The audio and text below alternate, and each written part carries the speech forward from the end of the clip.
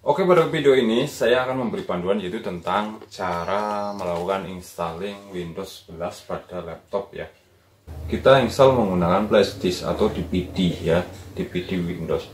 Nah pada video ini saya akan memberikan panduan yaitu menginstal sebuah laptop. Oke langsung saja mari kita simak.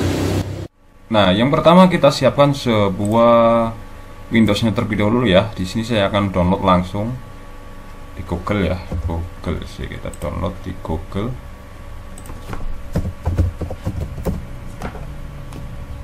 Kita tulis saja Windows 11 nah ini kita download di Microsoft ya di websitenya langsung. Ini download Windows 11 nah kita akan masuk ke sini. Kita mulai klik di sini. Nah ini. Windows 11 disk ISO ya. Yang ini klik.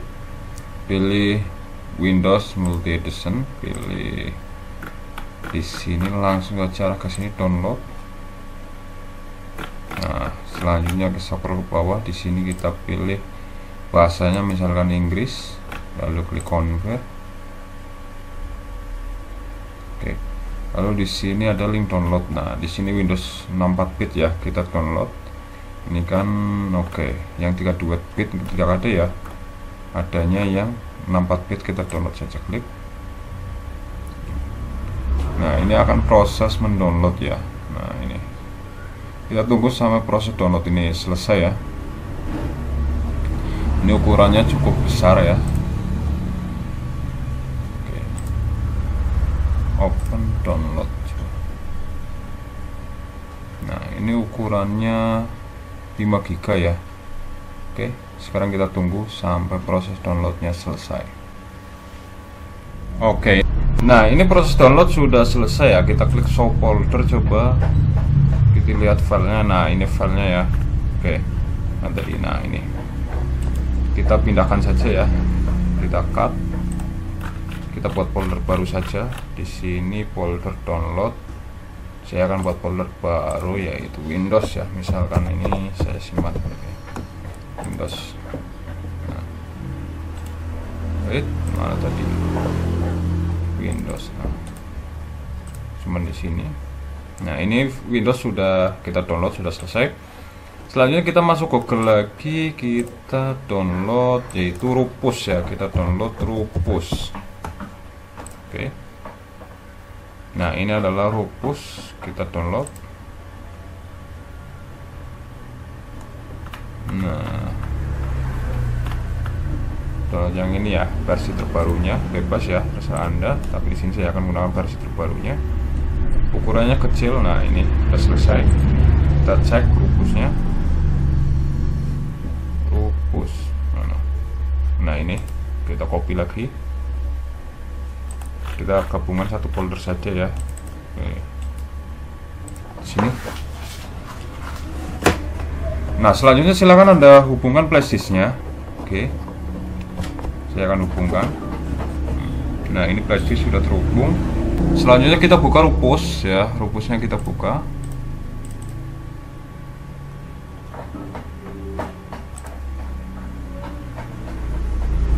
Nah kurang lebih akan terbuka seperti ini ya.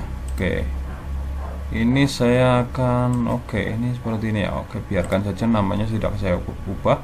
Lalu kita masukkan file Windowsnya yang ini ya. Kita klik select. Lalu kita cari Windows 11 nya tadi. Nah di sini ya folder download Windows. Nah ini. Klik open. Di sini saya akan buat Windows 11 misalkan ya namanya. Windows 11 ini GPT saya pilih MBR saja. Oke. Jika sudah selesai klik start.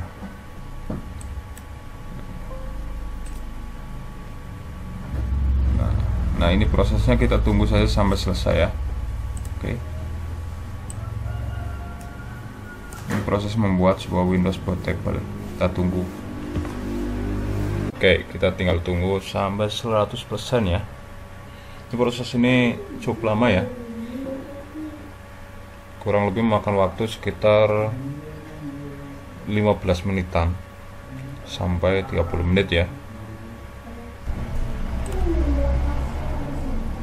Oke, ini sudah selesai ya. Kita close saja.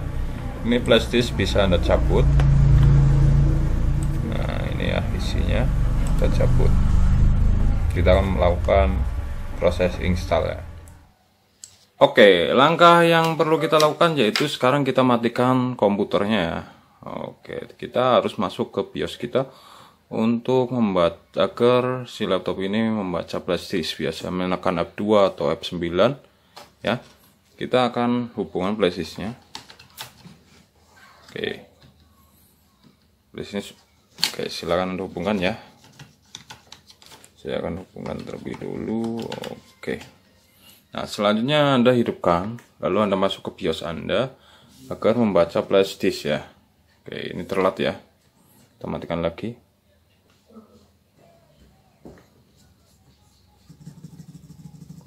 Oke, silakan Anda setting komputer Anda agar masuk ke BIOS ya. Contohnya seperti ini. Untuk panduannya silakan Anda cek di channel cara masuk ke BIOS untuk tipe laptop Anda ya. Kayak di sini saya akan masuk ke BIOS yaitu F9. Tekan F9 agar membaca. Nah, ini ya. Flashnya sudah terbaca. Kita geser, kita arahkan. Oke. Lalu tekan enter ini sudah mulai kalau ada detik flash ke sini baca itu langsung tekan enter ya biar membaca flash disk oke ini akan melakukan proses installing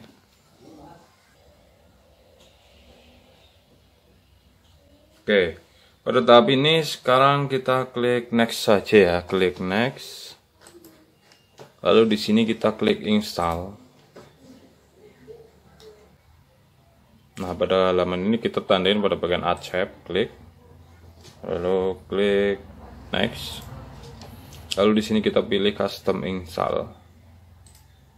Oke. Di sini saya akan partisinya ya. Saya akan hapus sistem C-nya. Sistem C pada partisi 2 kalau di sini. Ini ya. Kita hapus saja delete. Nah, ini partisi 2 9 GB kita delete. Oke, selanjutnya kita buat partisi baru klik apply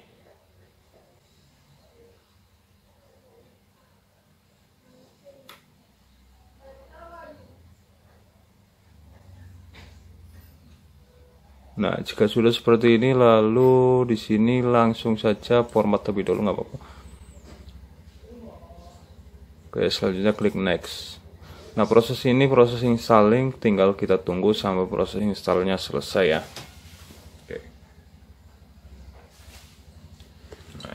ini sampai 100% kita tinggal tunggu saja kalau prosesnya sudah seperti ini oke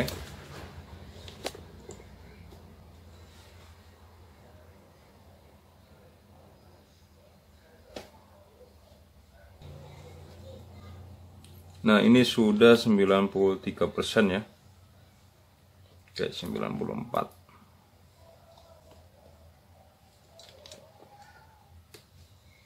Kalau tahap ini tinggal kita tunggu saja ya. Nggak usah kita otak-atik apa-apa, nggak usah. Jadi kita tinggal tunggu saja. Ini saya sangat menyarankan buat Anda ya, yang sudah punya laptop, ya paling enggak itu bisa melakukan installing sendiri ya. Oke. Kalau kita menginstal, itu nanti sistem C hilang ya data sistem C. Sebaiknya ada backup terlebih dahulu data yang ada di sistem C. Nah ini akan melakukan restart kita tinggal tunggu lagi.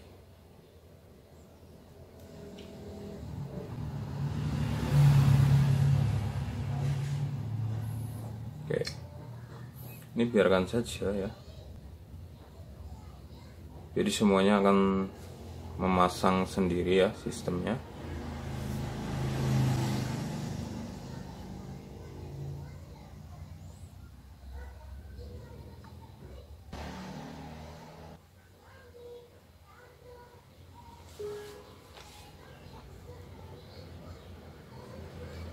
Nah ini tampilan selamat datang untuk Windows 11 ya Nah selanjutnya di halaman ini kita pilih lokasi ya. Saya berada di Indonesia jadi saya pilih Indonesia ya. Oke Indonesia kita cari. Nah ini Indonesia. Selanjutnya klik yes saja ya.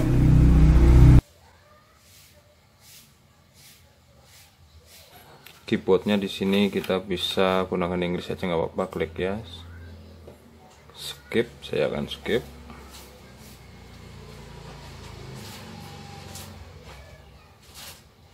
cek update Nah, selanjutnya di sini disuruh untuk mengasah apa mengisikan nama ya, nama untuk laptopnya. Misal saya akan isi asal mangap. Oke. Lalu klik next.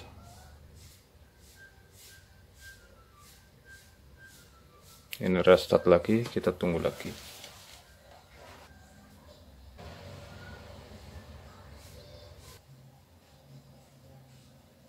Nah, pada halaman ini saya akan pilih set for professional saja di sini.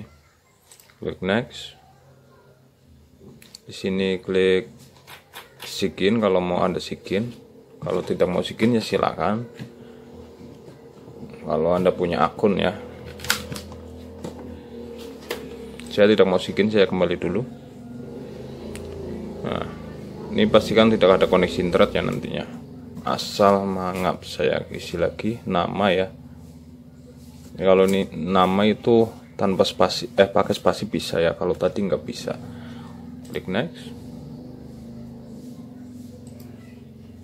Password kalau mau anda isikan passwordnya untuk laptopnya silakan anda masukkan password. Jika tidak klik next saja. Lalu di sini klik next. Klik next lagi. Klik accept jadi proses install itu sangat mudah sekali ya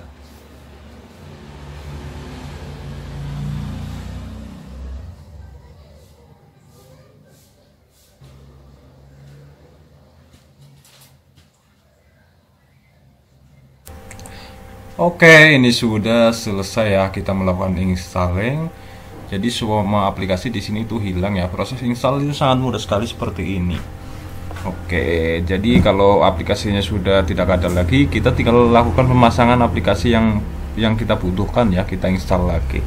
Untuk panduan selengkapnya, proses selanjutnya silahkan Anda tonton saja di channel ini atau Anda bisa cek di deskripsi video ini. Langkah-langkah apa saja yang perlu kita lakukan. Oke, sampai di sini saja. Selamat mencoba, semoga bermanfaat.